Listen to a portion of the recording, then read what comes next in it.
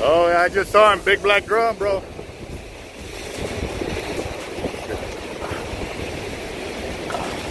Uh, Nora, Nora, you want to film him?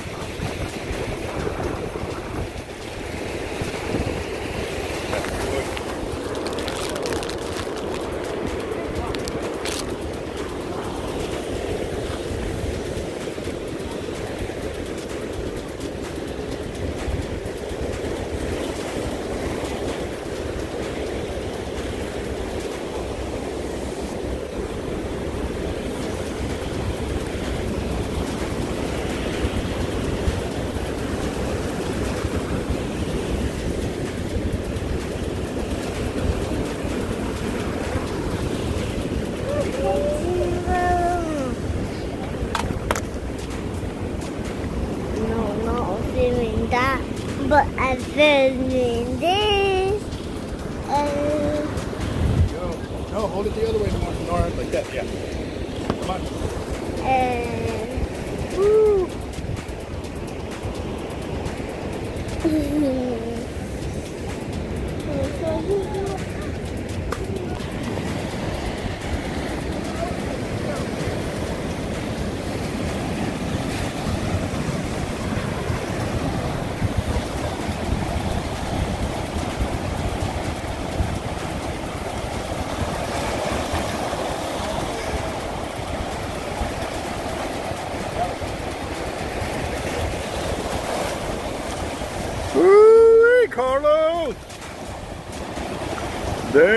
The du- Is that that's a double drop, ain't it?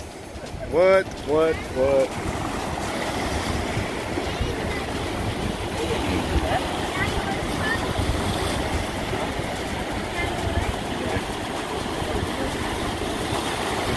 Aren't y'all glad we went to church today?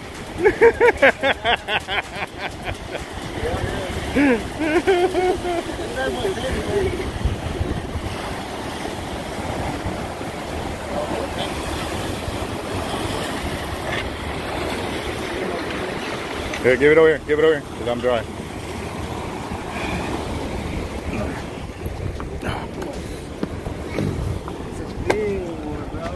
Damn, I'm gorgeous, bro. I'm gonna take a picture. You had it on selfie mode, so I took a picture. I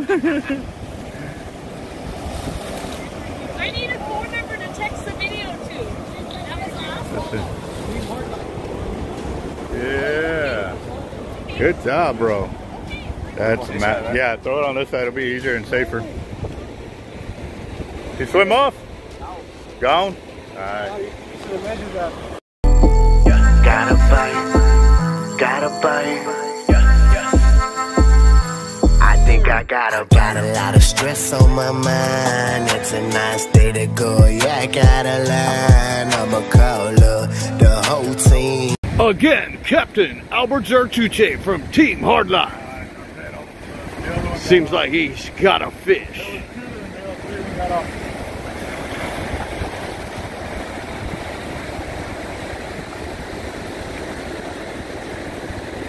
All right. Double drops paid off. Paid off me.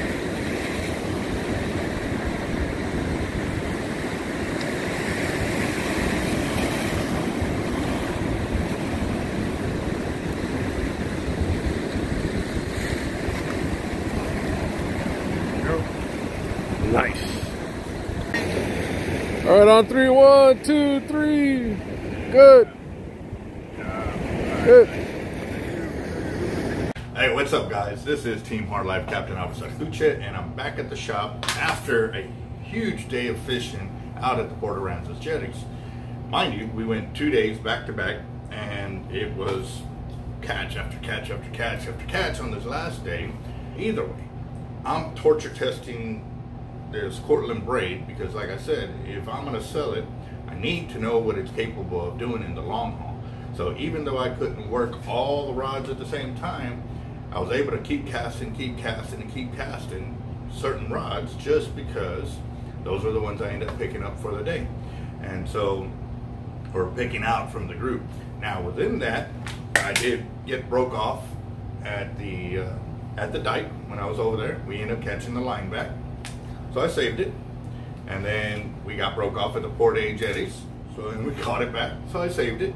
And breakoffs is going to happen with every single line on the market, but it's what happens afterwards that is the big determining factor for me too. One is you don't ever catch it back, and so you lose line. And since we're dealing with hollow core, we have to replace it. So I'm maintaining my spool. That's where I save money. Here's a big one. I caught it back, still clean, still great line. What do I do? Reattach it to my spool. So I'm gonna go ahead and do that real quick, and then I'm gonna show you the, the rods that I've been using. And like I said, this is already five trips. And actually I went fishing again last night. So that's six trips. And this is where we're at. I mean, I've only had, like I said, I've lost these two, caught them back. So I haven't lost any line yet. Love it. Like I said, so let me do that real quick and I'll show you what's going on. So real quick, there are the rods that I've been using right there, you know. There's a six and the other one right there. So, oh yeah, it is only seven rods because the other three were the HXW Raptors that I was using at the drum tournament. Those are the ones we kayaked out, which had other kind, other types of braid. Because still at the same time, I've got to have that one variable of the lines we're already using. But I'm gonna give you a quick view of what it looks like before I go fix it. See, this is one of the ones that has lost line, okay? But that one's still freshly brand new, like that. Uh, these are still wrapped up from using them last night. I went to uh, Clem's Marina, and yes, sir, this one looks like it's lost a little bit of line. This is the 80 pound, hasn't lost anything. And here's this one. This one hasn't lost anything. And the other one over there, let me see if I can reach that. There you go. Still, still rocking and rolling with the Cortland. Now let me go and get, I know that one's missing quite a bit, and I actually, I think it's one from one. This one will be the one that's missing the most line, and that one's the top shot for the other one. So, yes sir, let me go ahead and knock that out, get it back on there, and see what it looks like. Alright guys, so I, want, I was going to skip over it, but I was like, no, you know what? I want them to see what is actually going to happen with everything start to finish because that's what I like to do. I like to share the knowledge so you know exactly what you're going to go through when it does happen and you add more lines and stuff like that. So for me, when I got cut off out there, I had to keep using the line because I didn't want to just stop right there. Now, if it would have broke off two or three times, actually my, my number is three. If I break off three times on one rod, it's done for the day. Like that trip, it's done. So with this one, I tied a knot on there and I could probably get it out, but you know, I'm okay with that. I'm okay with losing, look, and you know, actually that's why I was doing the video, so y'all can see what the waste is and what I'm losing. So, let me see.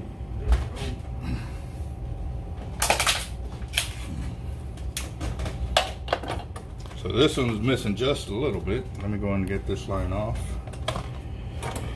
And I'm gonna level that off and get it back on.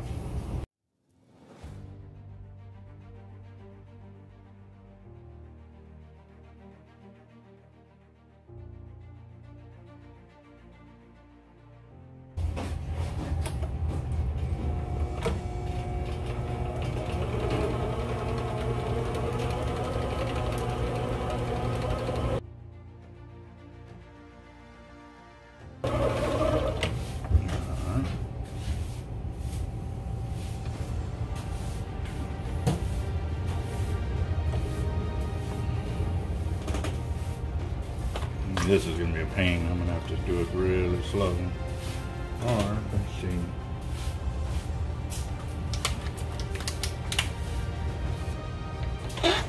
Alright guys, so upon further investigation, I can see a bad fray right here.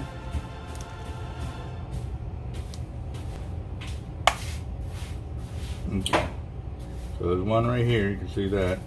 The next line over's got something right there, right here. Yeah, that's a real bad one like that. That's a long area. And then some right here, right here, right here. See, this one, when we pulled it out, out of the line, or when we caught it back, it came through the rocks right there at the jetties. And with the waves, it was pushing in. I was pulling, trying to pull it in as fast as I could, but it, yeah, that didn't work out as planned. So, looking at how many times I'm gonna have to splice, I'm, I think I'm gonna just go and say, you know what, I'm not gonna add this in, you know, because that's a lot of splicing in a short area. This is probably only 20, 30 yards. So I think I'm just gonna say, you know what, I'm gonna leave it alone because it's still got a nice good top shot right there. It's almost to where I wanna be for casting. Like I said, it's probably one whole wrap across and maybe half. So yeah, no. I think I'm gonna be good. So I don't want, like I said, I don't want to put a crazy amount of splices, but also too, there's the whole point of the braid is we don't have to keep doing that. Um, yeah, no, I think I'm gonna call it on that one. Now, this one, and then inspect it too. And obviously that was the one where it, it burned off Y'all saw the original video where he did that. Well, this is the opposite end of that. And that only, that looks to be like the only place that's messed up.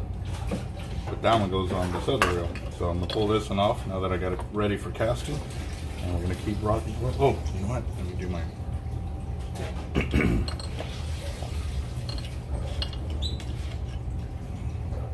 put my end of the line loop right there so I can tie on my leaders.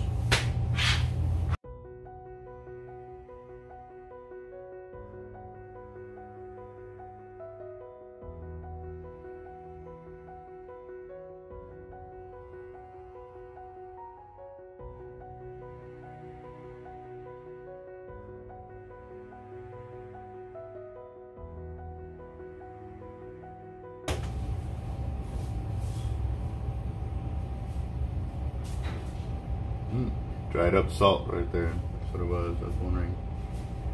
All right, so get that.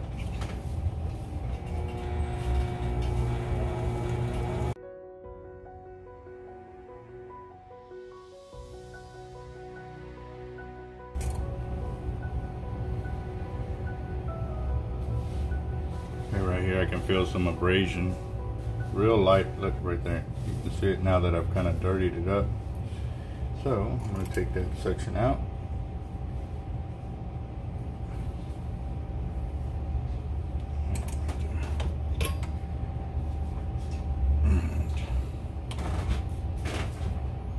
And just going to splice this one in. Ooh, that's the end. It already has my loop. So,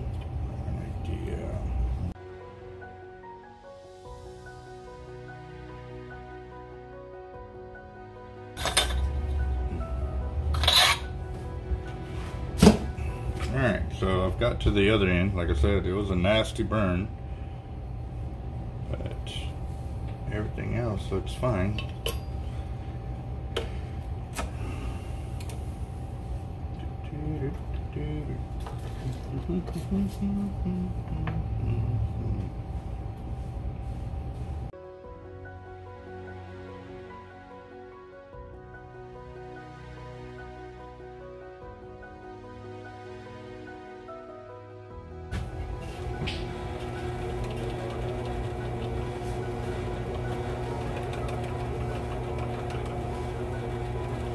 All right, guys. So one thing I forgot to take into account is that because I hand wrapped this bottle with the line, I put a lot of twist in it. So what I'm gonna have to do before I continue is get all that twist out. So I'm gonna have to walk it all the way out, untwisting it because, like I said, that's gonna give the wrong image of the line, showing that it got gathered twist from fishing when it did not happen while fishing. It happened when I was rewrapping it. So let me knock that out real quick.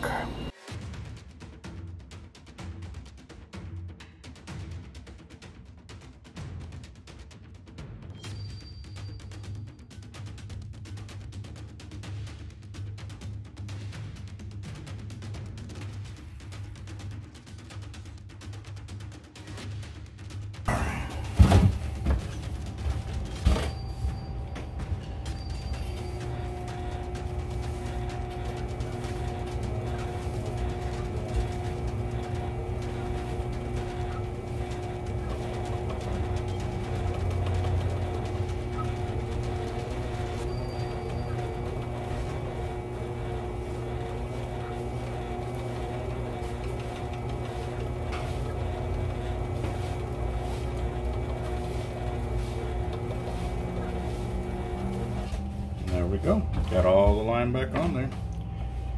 So again, this is why we use hollow core braids. We're able to save money in the long run. So here we go.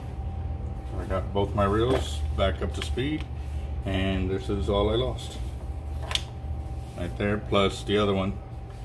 But yeah, that ain't too bad. That ain't too bad. Especially since I've got seven reels that I'm fishing with. Five of them have the Cortland 100 pound and the other two have the 80 pound.